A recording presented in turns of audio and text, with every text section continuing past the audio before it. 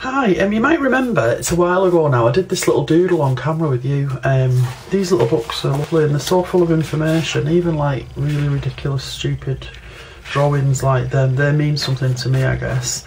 Uh, little notes, um, not much more in that. Another little doodle. I do this when I'm in class. I'll pick this little book up or this one uh, and write in it or doodle in it. This one's probably fuller. There's more notes and pencil stuff going on in that one.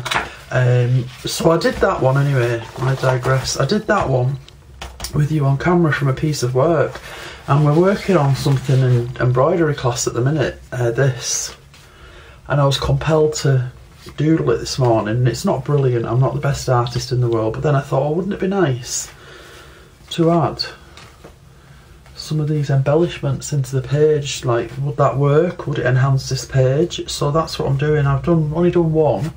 Uh, I'm going to do another one now with you. Um, so see setting me off on another track. I've got so many things in my head that I want to do that I need to do um, that I'm obliged to do and yet I keep getting massively distracted by all these ideas. Um, but then I guess if you're here on this blog, then you do too, because that's the nature of what we do, isn't it? Um, really, most things we do, almost everything we do feeds something else. So I won't keep you long. I'm only going to do one because I'm in a hurry. I want to. Well, I want to make a video for my embroidery class this morning because I'm going to London on Friday and I want them all to be busy when I'm not here. Um, so I'm just picking this stuff up off here and the concentration, you could see my face. I haven't got my tongue sticking out like I normally do because I'm talking to you but normally it's like screwed up eyes and sticking out tongue.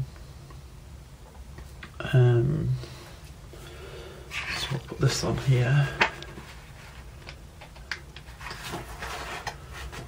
And then I think just one more piece of this will suffice. So that's nice already, but I just like to just add another bit.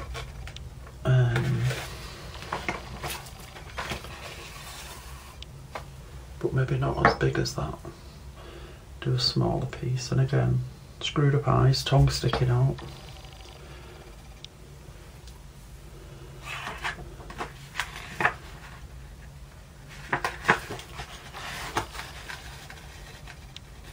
There.